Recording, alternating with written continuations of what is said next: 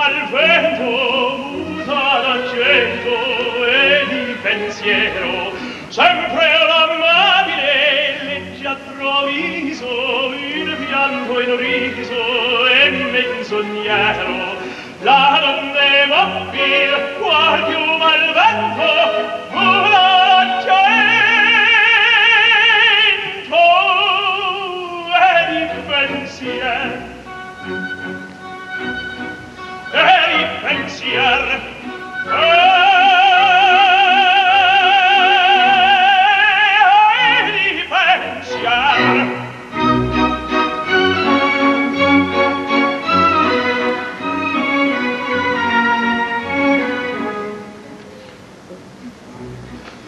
sempre misero chi a lei s'affida chi le colpirà mal causo il cuore.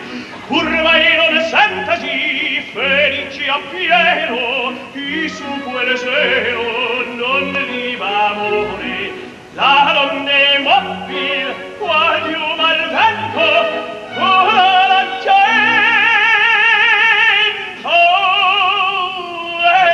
pensier. Per il pensier.